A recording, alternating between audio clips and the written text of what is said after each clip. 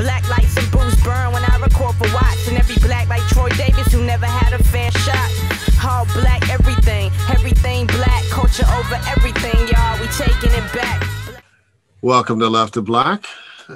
My name is Mark Anthony Neal, and we are joined today by Professor Koritha Mitchell, who's Associate Professor of English at The Ohio State University. She's the author of Living with Lynching African American Lynching Plays, Performance, and Citizenship, 1890 to 1930, which was published by the University of Illinois Press in 2011, and the brand new From Slave Cabins to the White House.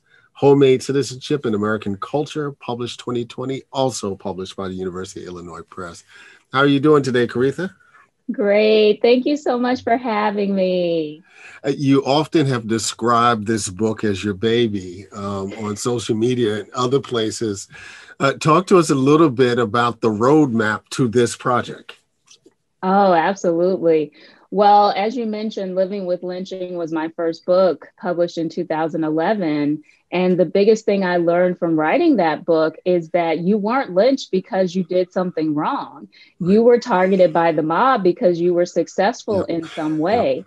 And so, because I left that book really truly understanding that, I thought, what does that mean for how we read African American literature and culture? Because what was clear is that African Americans at the time, at the height of mob violence, understood that they were attacked for their success. So, mm-hmm. my thinking for this project was okay, if I understand that African Americans understand that their success makes them a target, then when I read African American literature, I need to be reading it in terms of uh, how they are pursuing success despite all of that. And so this project really is an opportunity to make sure that people understand that that is precisely how we should be reading African American literature and culture through the lens of success. Yeah, um, I often remember, you know, when I was a kid talking to my mother and other folks and, and black women um, who didn't work out in the world. Um, and, and we often describe them as, as homemakers, um, mm-hmm. not housewives, but, but homemakers. And, and this book really pivots on the idea of, of homemade, obviously, but, but homemaking, right? The creation of a homemade citizenship that pivots really on what you can create in a domestic space. I'm talking a little bit about that concept of homemade and homemaking as it runs throughout the book. Absolutely. Um, what I'm interested in is the fact that homemaking can look a lot of different ways. And so, even in the slavery era, you have African American women who are creating the, the sources of nurture that um, they believe is homemaking. So, whether their domestic configurations look a certain way or not, homemaking and um, uh, creating and sustaining bonds is really what they're about. And so, this was an opportunity to really see that when I say from slave cabins to the White House, I'm trying to trace this trajectory, right, of how we understand that um, Black women have been house slaves and housekeepers, but not acknowledged as homemakers. And what I want us to understand is that their journey from house slave, housekeeper to homemaker has not been about becoming a homemaker. It really has been about becoming a homemaker and not having that homemaking success draw more violence because they've always been homemakers. Makers, yeah. You know, you talked a little bit about this concept, uh, just opening a success. And uh, we understand the way success was a threat to white supremacy, obviously in the post emancipation period. But you begin the book talking about how, particularly, Black women were trying to work through notions of success in the antebellum period, right? In the period of slavery. And talk a little bit about what success looked like for Black folks during slavery. Absolutely. Thank you for that. Because a big part of what I'm invested in is thinking about cultural criticism are we doing a good job if we're not looking for you know gradations of success even in the slavery era um, if we assume that it's just about resistance and survival we're actually overlooking the gradations of success so for example in incidents in the life of a slave girl it is so clear that harriet jacobs has a definition of domestic success that involves being able to marry the free man of color that she falls in love with. And after Dr. Flint says, I'm going to shoot him like I would a dog if he comes around here again. She tells him to forget about her, go to the north, leave her to her fate there. And part of what we find there is that the fact that she contains that she sustains her sense of humanity and agency enough first of all to while the country is telling her she's nothing but property she holds on to her humanity and agency enough to actually have fallen in love. That is a victory in and of itself. And you know it's a victory because it doesn't go unanswered. It is attacked.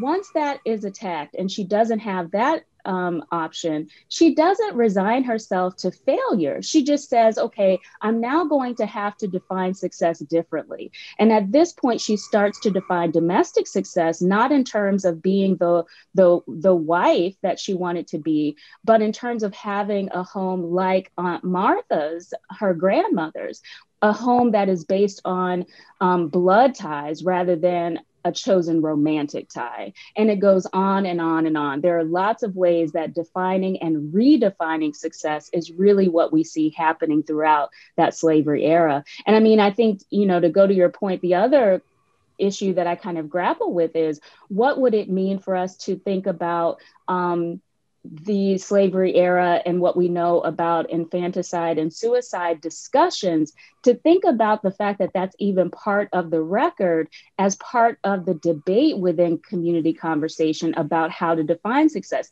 Some people are going to believe that the way to have success is to keep white people from benefiting from my life and labor. That is how I'm defining success. So I want us to understand there are lots of definitions, even in the slavery era you know, it's because you're really talking about the importance of political adaptability, right? To be able to adapt to particular historical moments and different tensions, and at least creating an own measurement, uh, your an own an index on your own for what success looks like. Do you think that kind of thinking is still applicable as we think about pol- political concerns, particularly in the context of, of social media, where things are so black and white? uh, you know, it, it's so such a dichotomy, right? Not just in terms of the larger political landscape. You ain't never breaking us. But even in the context of Black communities, when we think about what woke is and what woke isn't, you know, do we have the capacity to think more nuanced about what Black success looks like?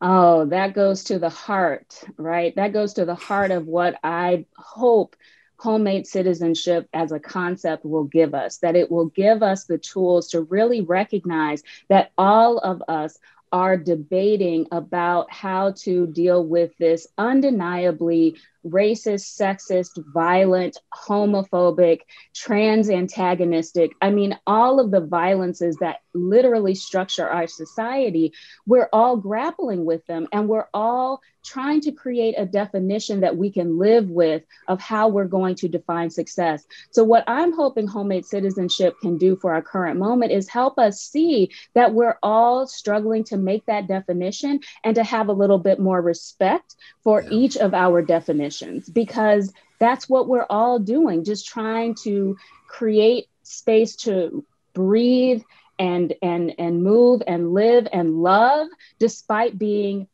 attacked at every turn. And so, what I'm hoping is that we will attack each other less as we recognize, um, you know, just the way that we're all doing the same thing, just coming to different conclusions. Yeah. In your analysis of, of Nella Larsen's Quicksand um, and also, you know, Hurston's classic, Their Eyes Are Watching God, um, you talk about this concept, and I love this framing of, of race motherhood. Um, unpack that for the audience, you know, what race motherhood is, both, you know, in the context of those narratives that you examine, but but also what that might look like, you know, when the idea of what the black mother is, you know, might look a little different, right? You know, where we might consider a Stacey Abrams or even mm. a Megan Thee Stallion, right, as, as another mm. version of, of this race motherhood. Oh, that's so good. Oh, Okay, so let me try to come at this from a couple different angles. I, I think, first of all, you know, of course, Erin Chapman is the one who teaches us about race motherhood in the 1920s and 30s. And the idea really became important in this book because it allowed me to see a transition, honestly, from the 1890s and early 1900s when being a mother was really the way that you made your argument for political involvement. Mm-hmm. But then in the 20s and 30s, race motherhood becomes a way of saying that um, Black women should take a back seat to the male worker. So, part of what Erin Chapman helps us grapple with is the way that race motherhood ends up being less politically forceful for Black women because it's all about propping up the male worker women should you know be at the service of men and boys. And so the connection that you're making to the moment that we're in right now and megan thee stallion is such a powerful example for me because you know she was so clear when she wrote in the new york times. What does it mean to be a woman of color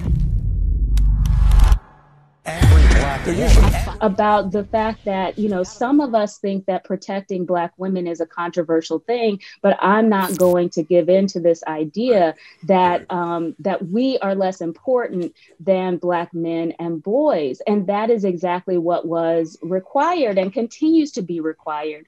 So what i love about the way you're framing this question for me though is that it allows us to really look at the fact that part of what I'm tracing with homemade citizenship is the fact that there's always debate. And part of what we find throughout these decades is that Black women are always pushing, um, pushing back whenever our community conversation isn't making room for us to breathe. Good evening, my fellow Americans, and happy Lunar New Year. So, with Stacey Abrams as the inspiring example for me right now in this moment, part of what she's been so good at articulating is that I do not have to fit into a specific mold for me to be a valid and important political voice.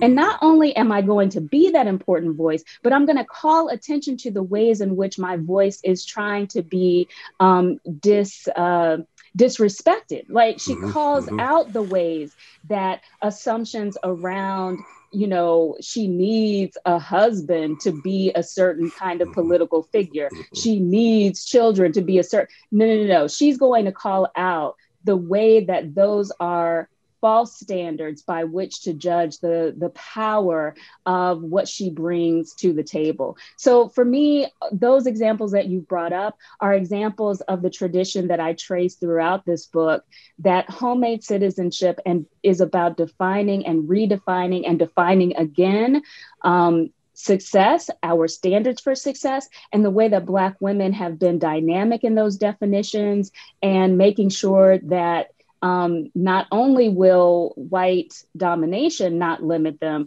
but also when our definitions within Black communities feel too limiting, we're going to, uh, you know, check that too we just recently had a conversation with Andre M. Perry, uh, who wrote this wonderful book, Know Your Price. Um, and there's a large chunk of the book that talks about, you know, the black investment in home ownership and how it's a mixed bag, right? Both in terms of, you know, the value of home ownership, but black folks don't actually get the same kind of value in home ownership as their white peers. Um, but of course, you talk about the idea of, of home ownership, right, as an element really of a human right and, and black power. Right. And, mm-hmm. and you mm-hmm. talk through it in, in looking at the work. Obviously, Lorraine Hansberry, Raisin in the Sun is the best example of this. Um, but talk about what it meant, you know, for many of the folks that you look, looked at in this book, the importance of having a home of your own, of home ownership, and creating a sense of power, you know, in this domestic space. Oh, that's that's your questions are always going to the heart. Thank you so much. I mean, I think part of what I was invested in having us grapple with there um, is that part of what we have to do is acknowledge that um, I'm focusing on um, African Americans in the United States. And part of what I want to trace is if they are not part of the tradition that has said, let us go to other countries and have better opportunities abroad, let us stake our claims here in the United States, then part of what I'm admitting is that there are ways in which sometimes their definitions of success look like simple um, acceptance of the so-called American dream. Right, so but what I'm so, but what I'm so invested in having us grapple with is Black people know throughout their experience that whenever they get something like the American dream or something like anything that white people value, they'll be a attacked for that success. So, could it be that they're simply after the American dream when they know there'll be attacked for it? It can't simply be that acceptance, it has to be something beyond that. And so, part of what I was looking at in that chapter, especially when I lean into the way that a home looks like Black power um, with Alice Childress's Wine in the Wilderness is that part of what you see them doing is defining their home as this apartment. They are not invested in a suburban household, but right. what they're defining as success is that this is going to be an apartment in which a Black power ideology reigns that mm-hmm. is mm-hmm. putting the black man back in his patriarchal position and what we find out very quickly is that as that definition of black power in that apartment is being held up you have tommy as the single black woman who's pushing back and suggesting that that definition of this black home is actually not a definition that's making room for her. And so, how do we complicate again as we continue to debate our definitions of success, how do we make mm-hmm. sure that we're incorporating everyone in the community in that definition Inclusive, of success? Right, right. Yeah, yeah. The title of the book, of course, is From Slave Cabins to the White House. Um, so the natural trajectory means that you know the book closes with a discussion of the the ultimate homemaker, if you will, um, you know, the, the, first black first lady, um, Michelle Obama. Um, mm-hmm. And uh, you mentioned very early, you know, in, in the acknowledgments how, you know, when you were conceiving this project, you didn't necessarily think Michelle Obama belonged as a part of it. Um, and, and, you know, and, and, it's our good friend, you know, Gabrielle Foreman, who, who kind of pushed back and said, no, this, this needs to be part of the process. Talk about your thinking around Michelle Obama in the context of, of this project. Thank you so much. Oh, that's so good. Um, yes, I had been writing about Michelle Obama because I was so fascinated with her mom in chief. Uh, you know, moniker and the way that it was erasing the fact that she had been, you know, an executive director of the mm-hmm. University of Chicago Medical Center. You know, if if you're going to promote Let's Move, isn't it interesting that you're not promoting it based on having had that expertise, but right. rather on being a mom? So I had been writing about her in different ways, but thought of that as a separate project. And you're right, Gabrielle Foreman was the one who was like, What are you thinking?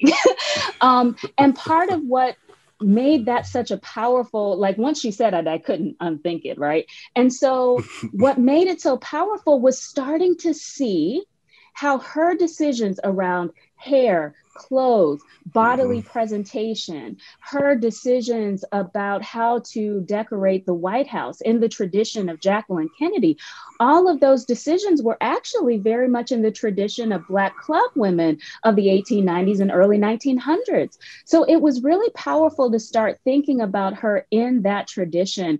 And what it ends up doing is showing me how aware she is of her every success will be countered. And so all the decisions she makes really, really exemplify that she's part of that same tradition. So part of what, you know, you're pointing to is the way that I end up saying that, you know, we need to think about mom and chief perhaps as um, just a more extreme example of the strong black woman right yeah, that yeah. that in order to claim citizenship black women have had to do this kind of overperforming. And for those of us who aren't in the public eye like michelle obama a lot of times it comes out as the strong black woman. In her case it comes out as mom in chief.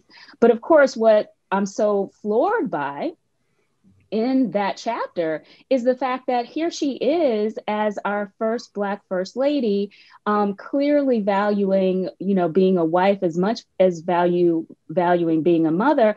But we don't end up with a whole slate of popular culture representations of mocha moms do we? Right. No. When right. she comes into the public eye we end up with the help as not only a mediocre book, but then a mediocre film that ends up getting extraordinary um, success. It turns into, right. you know, housewares and everything. Now, again, part of what I admit in that chapter is that, okay, let's take seriously the way that um, Black actors got their due. You know, there's no denying that the um, Academy Award nominations and awards recognize the Black talent of those Black um, actors in The Help.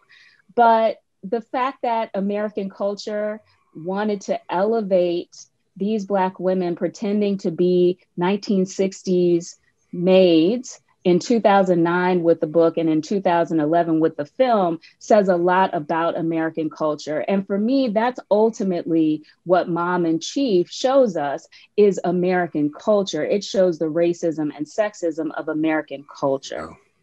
So, what are we going to do with Black Homemaker as vice president? Um, as vice president, as blended family mom, um, mm. you know, which which is you know is a little bit off the beaten path for what we expect when we talk about motherhood. Um, mm. You know, mm. how are you processing, uh, you know, Vice President Kamala Harris at this moment? Oh goodness, I mean, first of all, let us acknowledge that she is my soror. so so yes i have been thinking quite a lot about our madam vice president. Um, but but you're right. This is actually something i'm still thinking through because i think that part of what um, american culture does is it shows an extraordinary capability for consistency. So i think part of what um, is important about watching how this plays out is in the same way that the Obama family became the first family and was everything that the nation said it would respect this heteronormative nuclear family, these mm. well behaved children. I mean, everything you say you respect, Ivy League educated, right? Checked all the boxes, right? All the boxes. Even with that, you had um, responses to them that were aggressive. So I say that know your place aggression is when your success brings aggression as often as praise. So when it comes to my soror, Kamala Harris, I think that it's not going to be the case that we don't ever see praise and recognition. It's just that there will be aggression along with it. And the fact that, um, you know, she has um, South Asian American uh, background as well.